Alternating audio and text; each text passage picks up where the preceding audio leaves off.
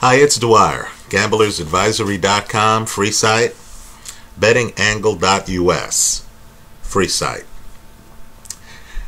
I'm making this video without my usual, remember, the opinion you should follow prologue, really just to respond to those of you who have left comments in the comment section of prior videos asking for my opinion on today's light heavyweight title fight, the rematch between Eleider Alvarez and Sergey Kovalev. Right? Let me just say this fight is a must watch for the boxing hardcore. Right? If you're interested in the light heavyweight division, if you realize that a lot's going on there, right? Adonis Stevenson right now is trying to get his life back together. He's lost his title to Gvozdyk, right? You have Bivol, a champion who might be dominant. And you have these two guys, both in their 30s, hoping to stay relevant, right? Then today's fight is one you have to see.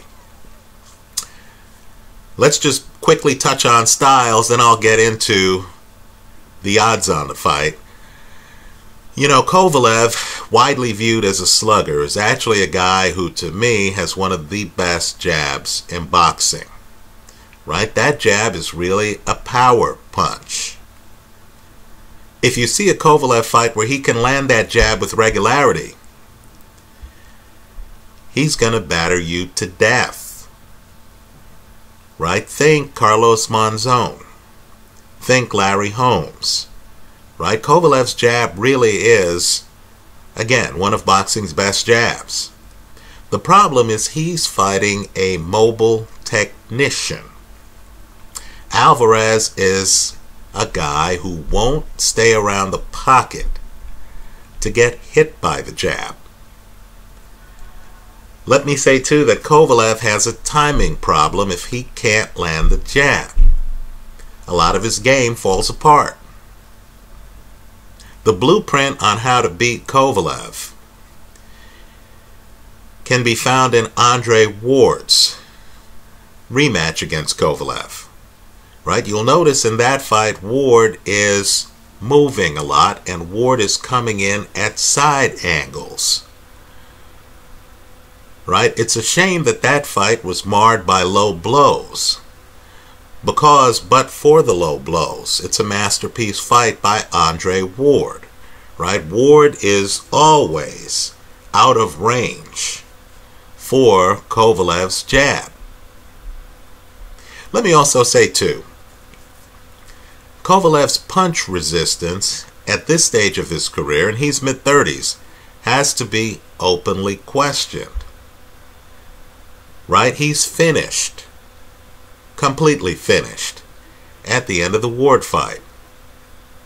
Well, here against Alvarez, the first time they fought, understand, Kovalev's best rounds are the rounds, the three rounds before Kovalev gets dropped. And once he's dropped, the fight is over. He's finished referee does him a favor.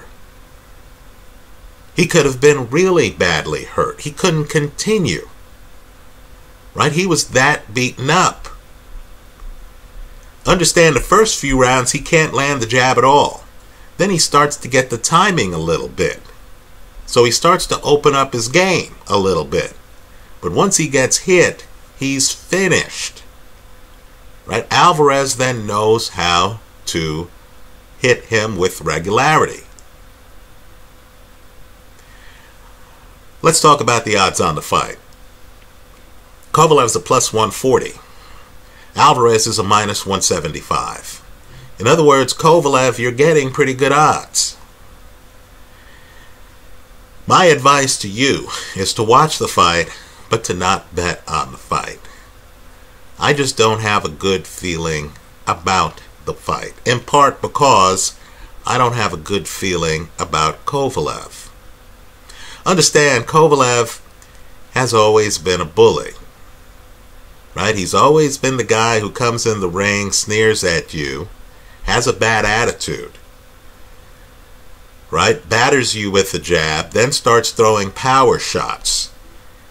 Hits hard, has never been defensively blessed. Right? Has been dropped in some fights. Barely beats Darnell Boone. Right? I believe it's Blake Caparello who drops him. He's never been defensively blessed. But he's always been that bully who, if he hits you with that 2x4 jab, then is able to come in with hooks. You were finished. Right? Finished. Well, now the bully's been exposed. Right? People know if I can move a little bit, avoid the jab, this guy doesn't have the defense to stop me from lunging in at angles and leading with power shots. Right? I believe psychologically it's thrown Kovalev, who, in my opinion, has interpersonal problems, for a loop. I don't think Kovalev knows how to beat beta. If he is an alpha, his whole construct falls apart. Right? If you don't buy into his superiority, if you know, as Alvarez knows, you can actually beat him by stoppage, then I'm not sure if Kovalev has the confidence. Forget the talent. I'm not sure if Kovalev has the confidence to beat people. Let me also say, too, that I am one of those people who tries to look at a person's psychological makeup before deciding on whether I'm going to bet on them. Right? I'm someone who didn't know Kovalev before. I picked Kovalev in the first Ward fight. Hell, I picked Kovalev in both fights. I thought Kovalev won that first Ward fight, quite frankly.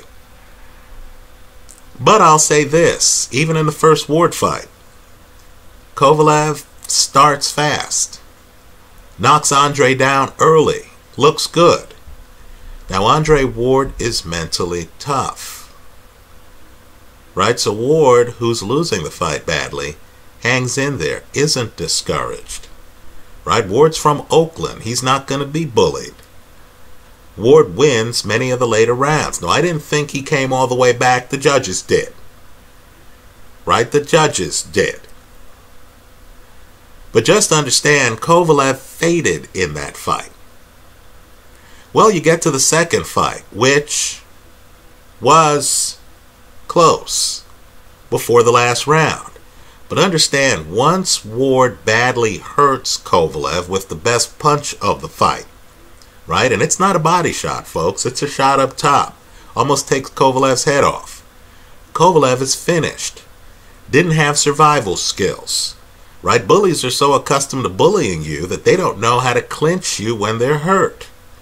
Couldn't find Ward. Because Ward's a future boxing Hall of Famer, Ward is coming in at angles. Ward's over here throwing body shots.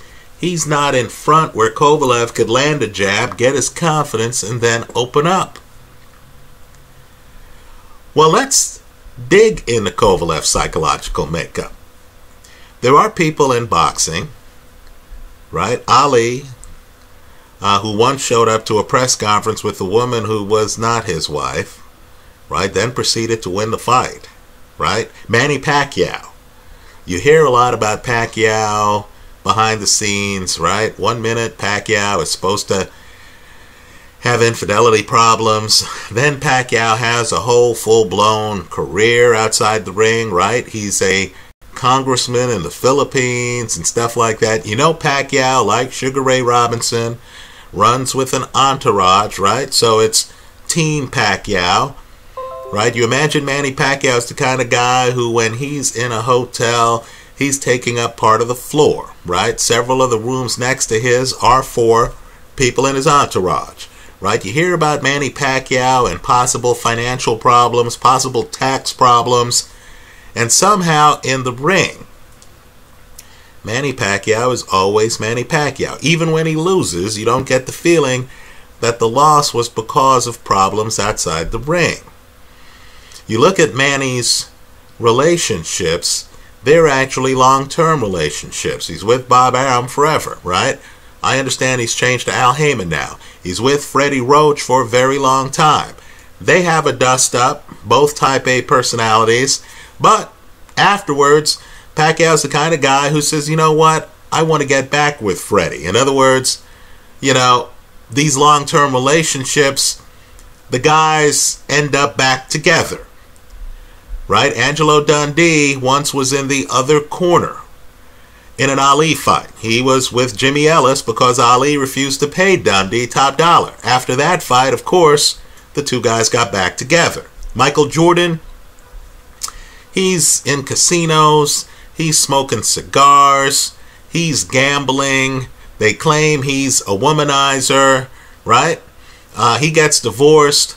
On the court, Michael Jordan, always a killer. Always a killer. Kovalev's different. I believe Kovalev's falling apart outside the ring.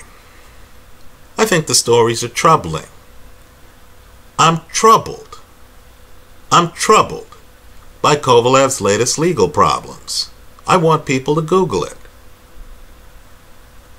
Right? For legal reasons, because things are still being investigated, I'm not going to get into detail here, but the story's out there. I'm also troubled by how Kovalev's relationships unravel. He's with John David Jackson. Understand, John David Jackson, excellent trainer. Right? Most in the sport would be lucky to have John David Jackson in their corner. Right? Jackson himself, a former champion, a great fighter, you know, has trained other guys in big matches. Now, what's interesting is John David Jackson and Don Turner stood by Kovalev when others accused Kovalev of racism. Right? People like Jean Pascal accused Kovalev of racism. And Kovalev's corner African Americans had his back. Had his back.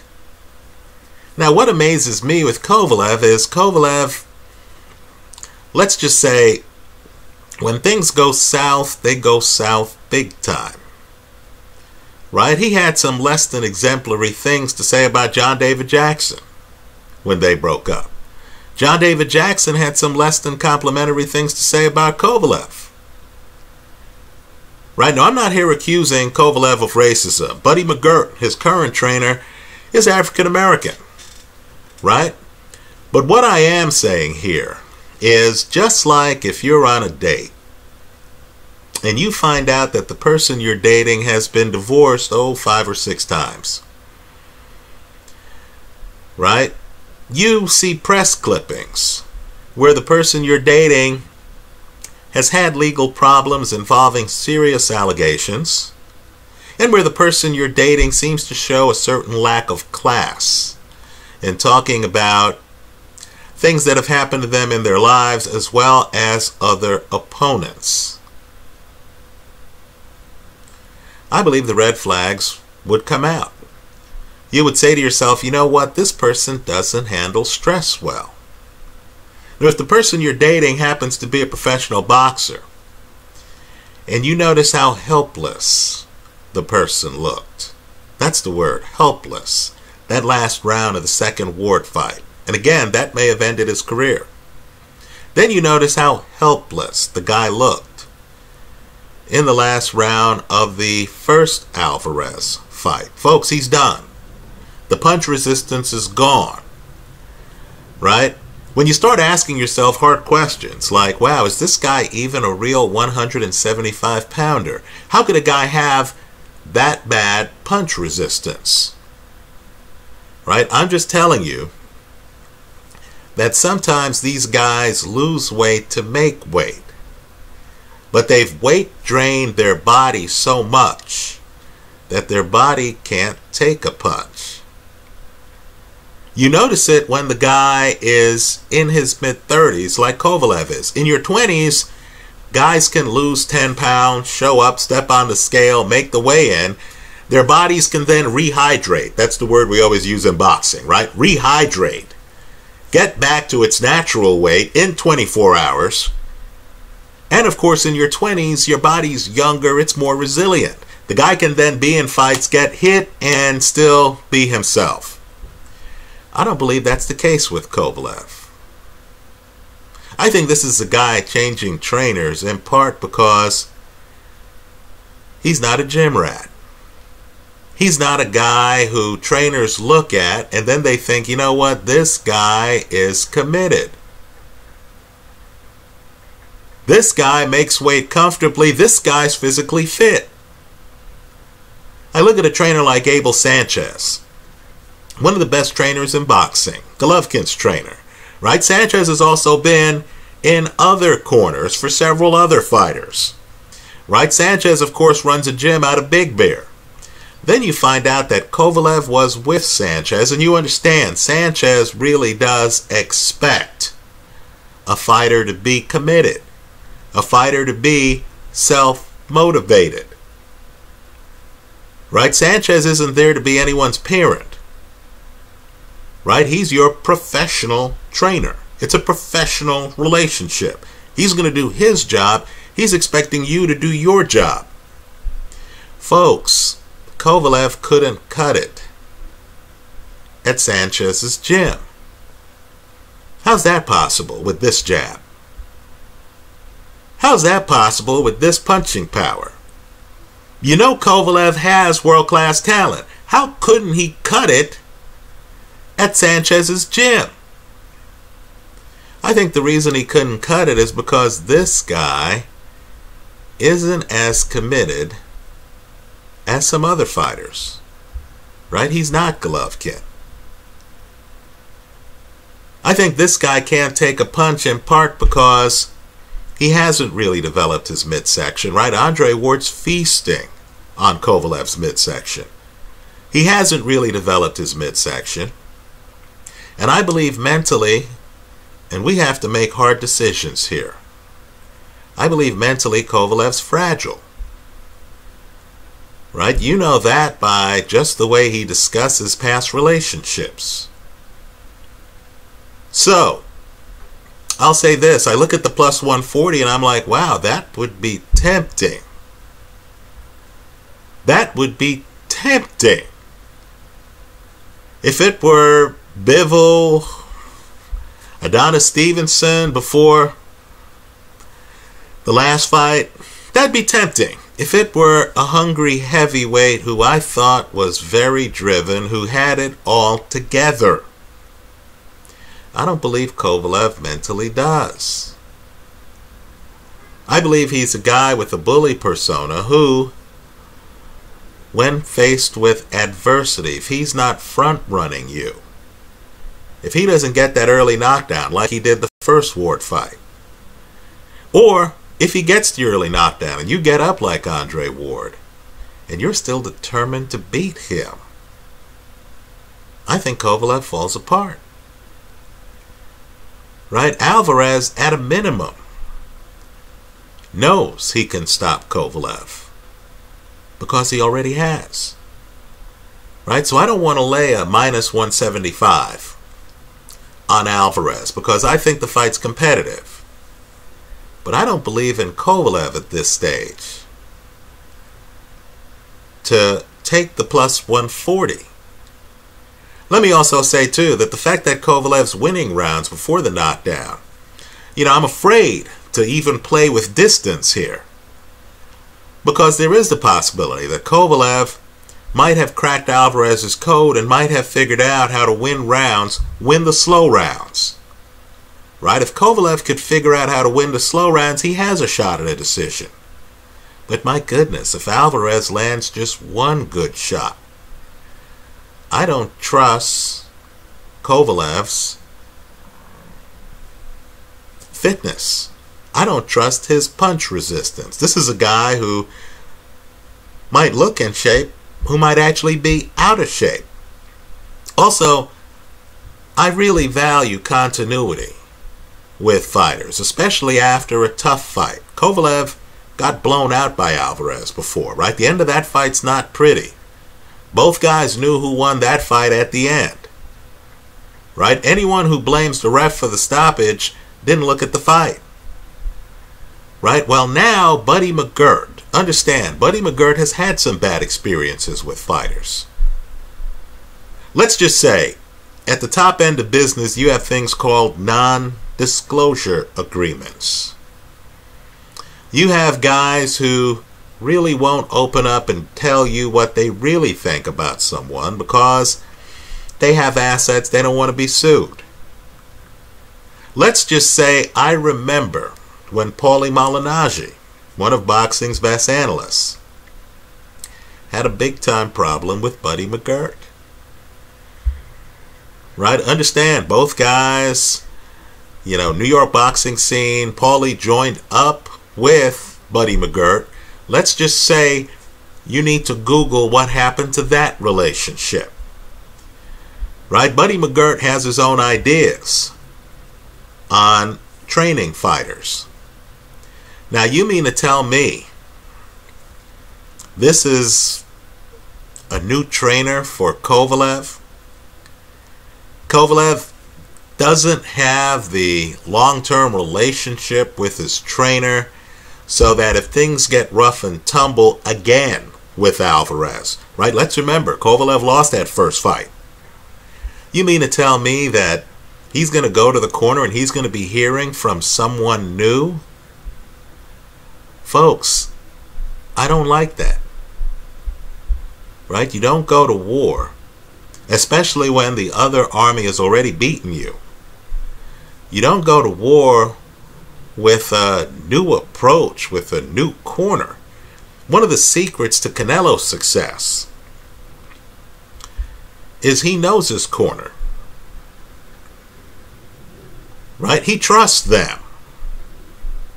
When a fighter breaks up with his corner and then is fighting a guy who's already beaten them with a new corner, a trainer who hasn't gotten along with some high profile fighters, guys like Paulie Malignaggi. Right? To me, that gives me hesitation on taking what at first glance might look like a plus 140. So in gambling, you need to know when to say when. You need to be selective. You can't walk in the casino and bet on every event. I'm on the sidelines for this fight right? I'm making this video just to respond to those of you who want to know why I haven't made a video on this fight. It's because there's too much risk involved for this gambler. So in the comment section here, I'll tell you what, let's make this about your choices and your analysis. If you have gambling insight that you want to share here with the public, if you have your own boxing prediction website and you want to leave a link in the comment section to this video saying, hey, check out my take on Alvarez versus Kovalev for the championship at light heavyweight.